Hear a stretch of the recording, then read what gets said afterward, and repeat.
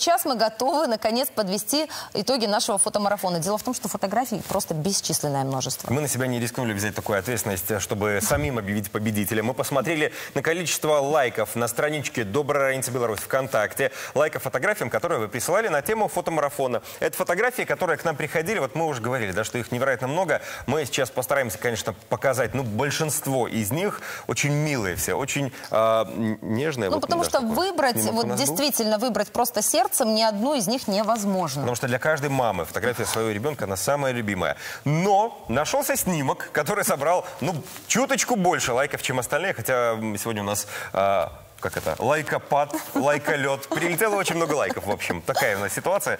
И спасибо большое вам за то, что вовлекаетесь, за то, что участвуете в наших фотомарафонах.